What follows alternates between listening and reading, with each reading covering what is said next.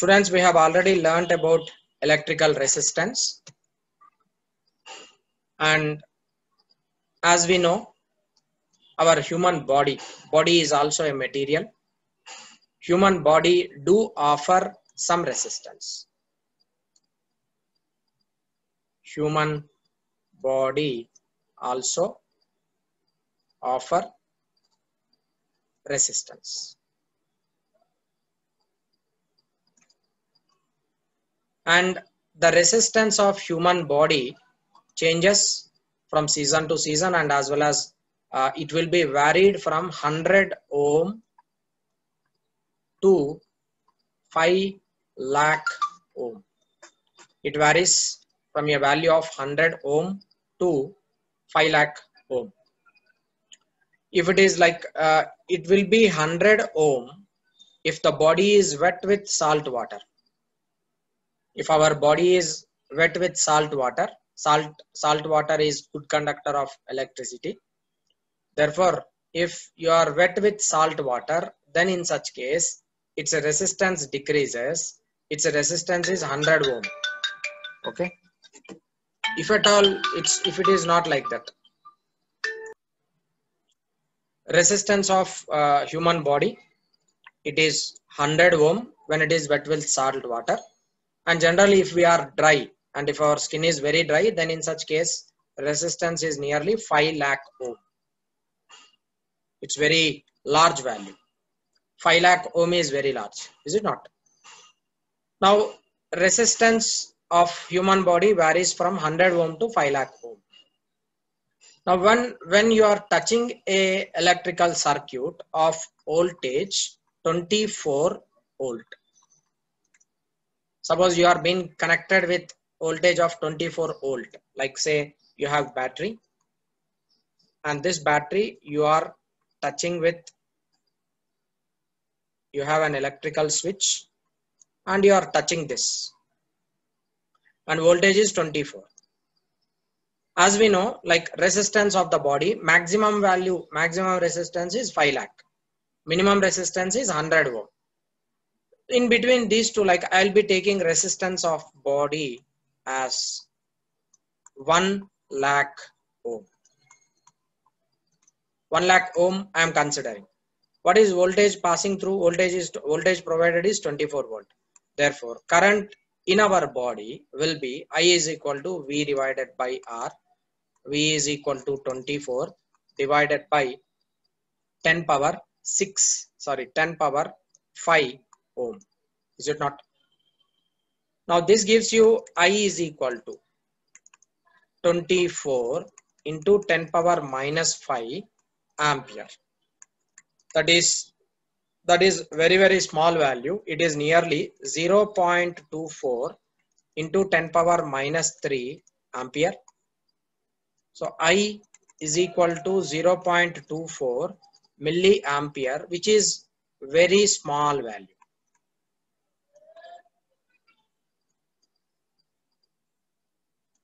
this is very small value right? So i is 0.24 milliampere which is very very small value.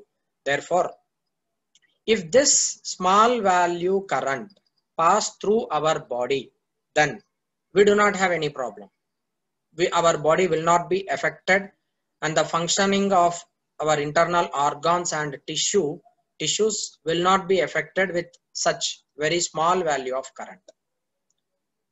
So therefore when you are touching lower voltages whose value is very small up to 30 volt or up to 50 volt if you are touching such type of voltages then in such cases a small amount of current will be flowing through your body.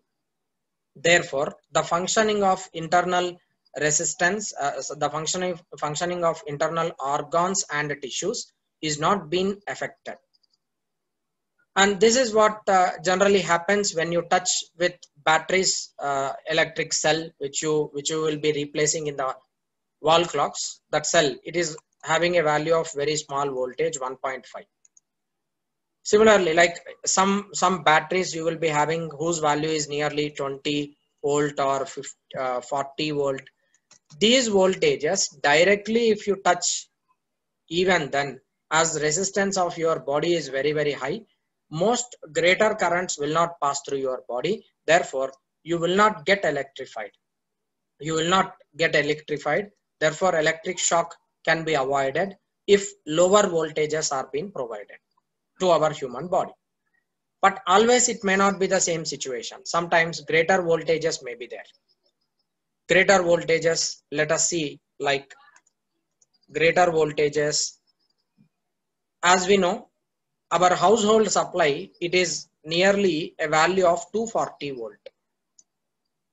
240 volt, our household supply. In our home, there will be electrical electric uh, connection, right? So that has a voltage of 240 volt. As we know, our human body resistance, we are considering it as 10 power 5 ohm. Like roughly, I am considering it as 10 power 5 ohm. In such cases, what do you get? Current I is equal to V divided by R, that is 240 into 10 power minus 5 ohm.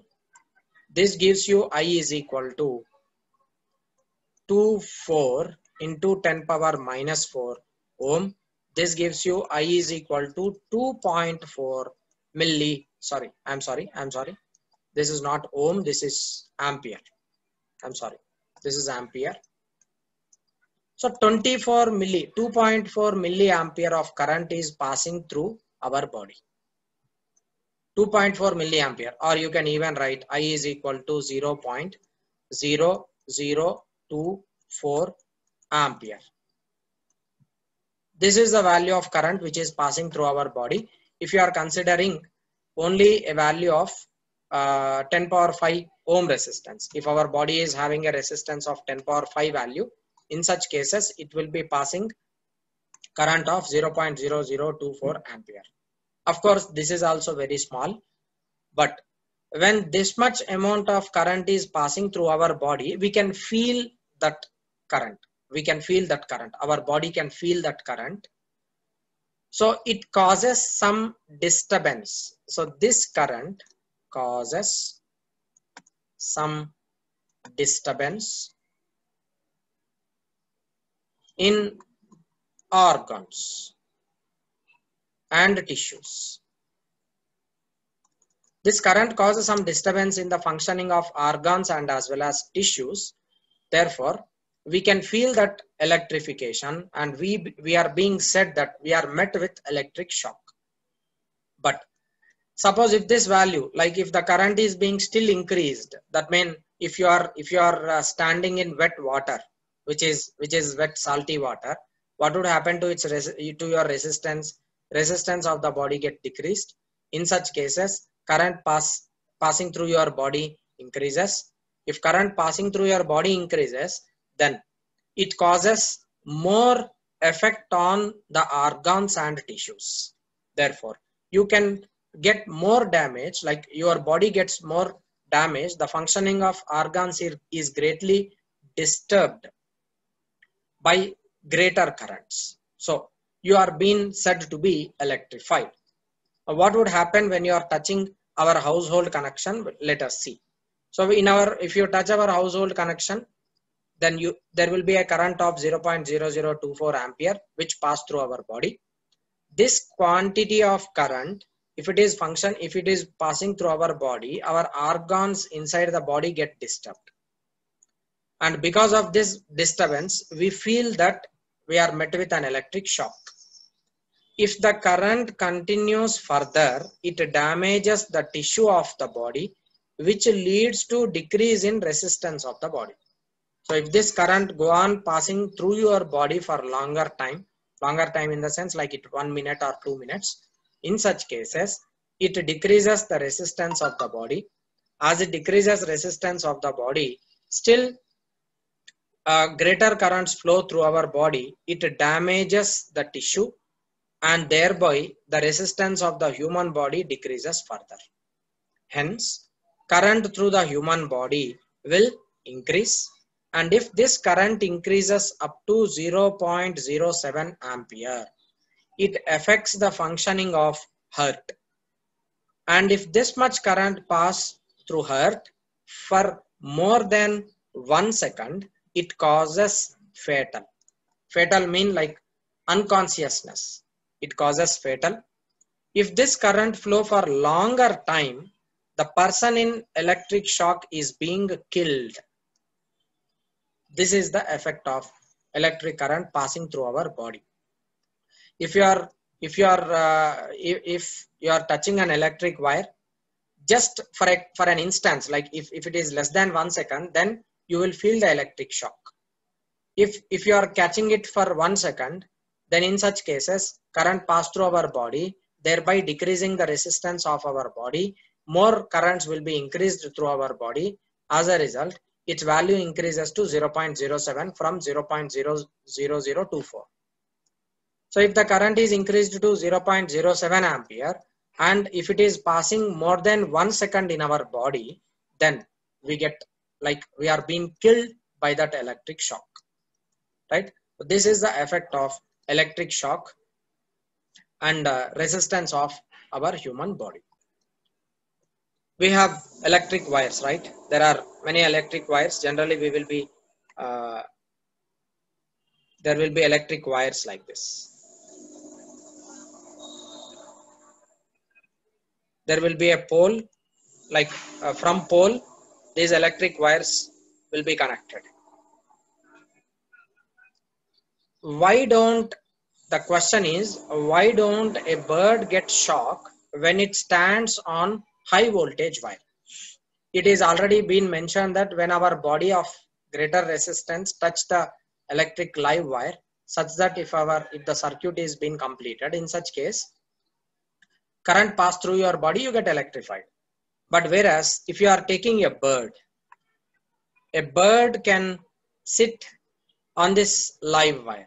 This is one live wire and its voltage is very large. Generally it, it varies from 240 voltage to 420 or 440 voltage. 240 to 440 voltage. It's it's it's the voltage value on the live wire. Now when you are when the bird is sitting on this much greater voltage wire even then it does not get electrified why what is the reason for that what actually reason it is see check it up there are two parallel transmission lines or uh, transmission lines in electric poles. The potential difference between these two wires is 240 volt as I told you. If you connect any conducting device across these two wires, it causes current to flow between the wires. So one wire is live wire whose voltage is 240 and the other one is uh, other one is having less potential difference so therefore, if there is any contact between these two wires, then electric circuit is said to be completed. Current will be flowing from higher potential to lower potential. As a result, electric circuit is being made. Therefore, electric current will flow through these wires. But what happens when the bird is sitting on one wire? When the bird sits on a high voltage wire, there is no potential difference between the legs of the bird because it is standing on a single wire. So no current pass through the bird, hence it does not feel any electric shock. So if there are two wires and if a bird is able to touch one and two, like one leg on one wire, another leg on the other wire, then what would happen? It get electrified with one leg on one wire, another leg on the other wire. There is a potential difference of 240 volt. Now as a result current will be flowing through this body and it enter into another wire. Therefore it get electrified.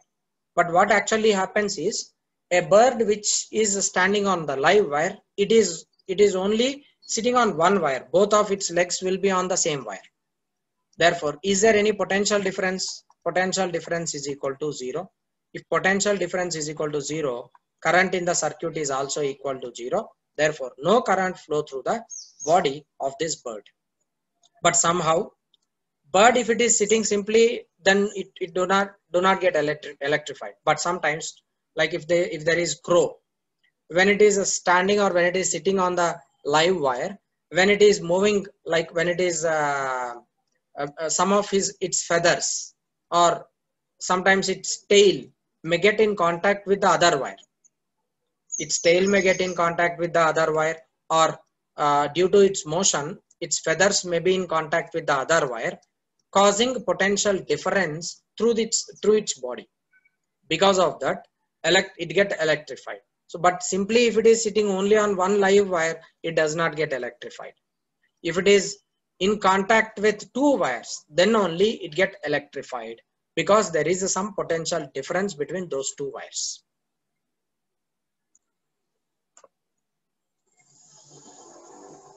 So let us now learn new concept which is combination combination of resistors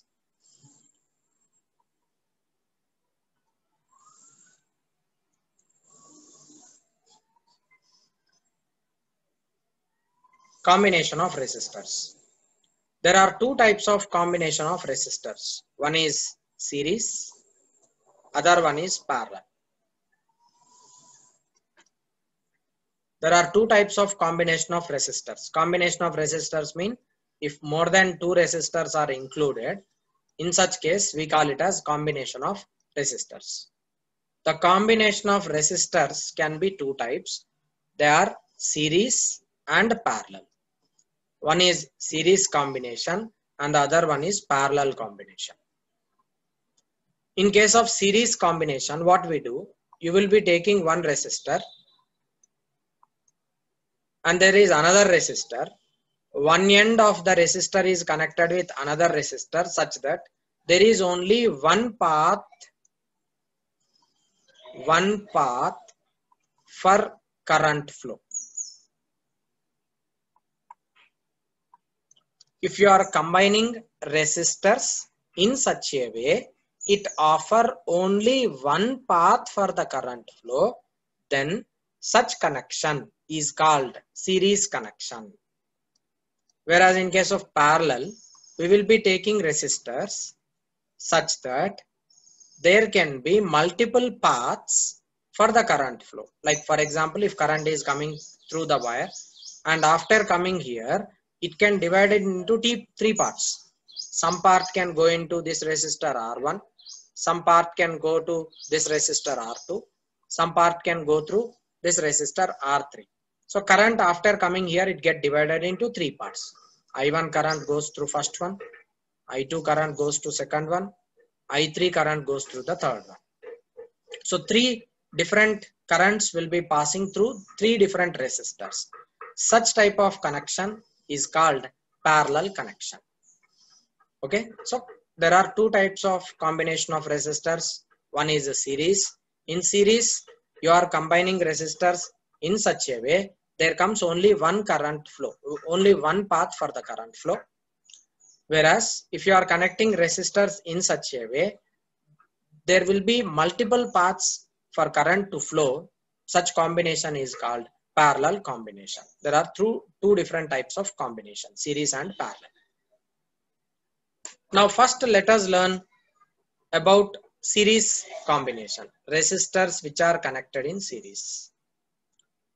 When resistors are connected in series, what actually happens? We shall see. Now here there are resistors. These resistors are connected in series. And whenever resistors are connected in series, there is only one path. See, check it up. There is only one path for current flow. There is only one path for current flow and see here all the resistors, one end of the resistor is connected to the other. Okay. Now this point if I name it as A and this point I name it as B, C, D and E. Okay. E, e is being connected to battery.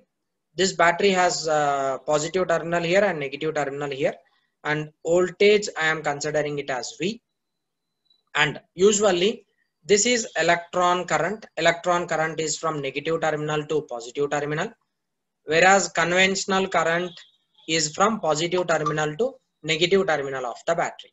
Here I E is equal to electron current. Electron current is from negative terminal to positive terminal of the battery. And I is equal to conventional current.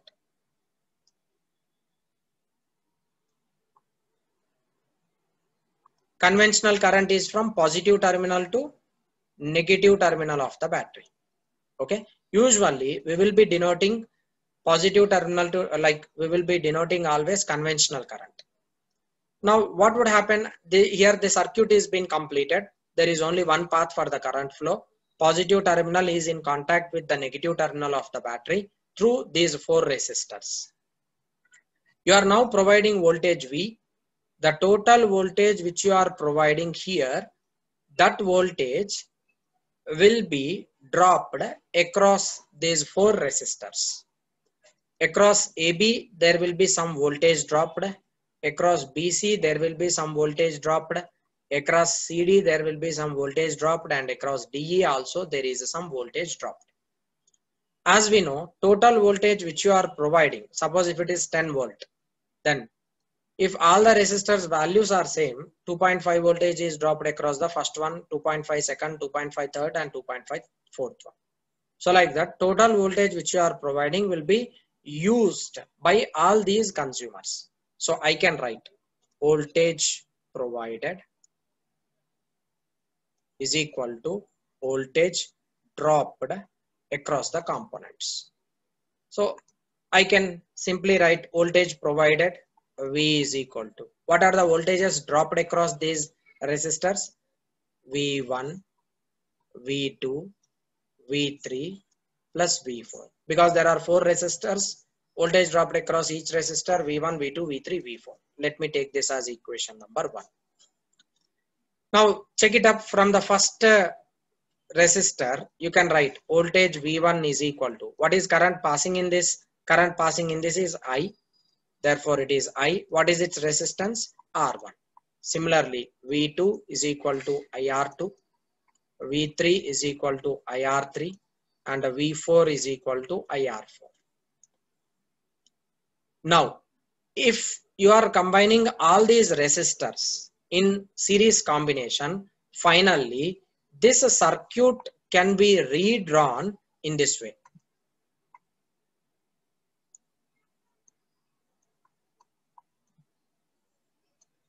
1, 2, 3, 4. Four resistors as a whole combined, they are in series. Finally, these four resistors which are combined, they can be replaced with only one value. I name it as R effective and the voltage which you are providing is V. Now, from this I can write V is equal to, current in this circuit will be I and it is R effective.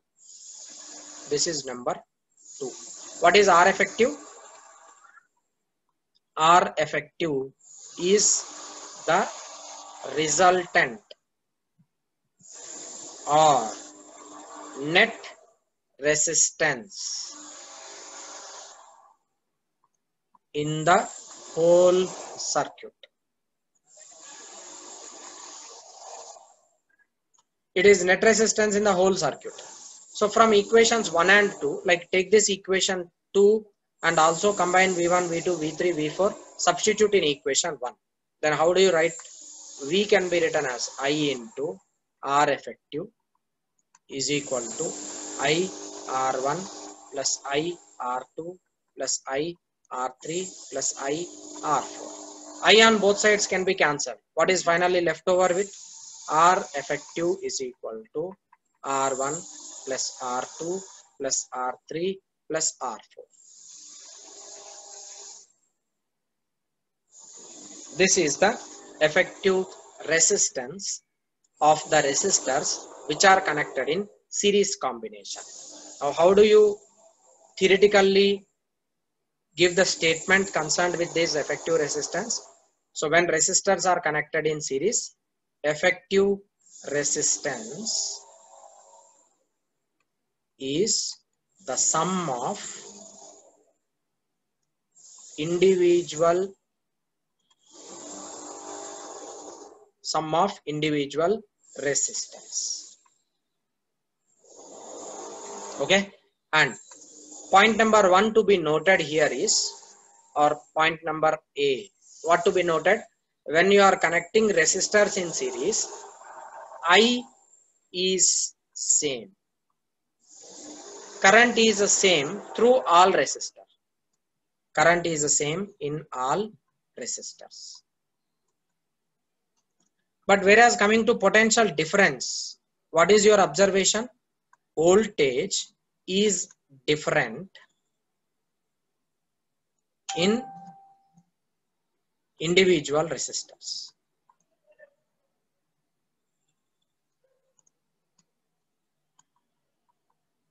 Therefore, these things you should keep it in your mind. So whenever you are connecting resistors in series combination, effective resistance is the sum of individual resistors and current in the circuit, current in all the resistors will be same, but voltage gets divided.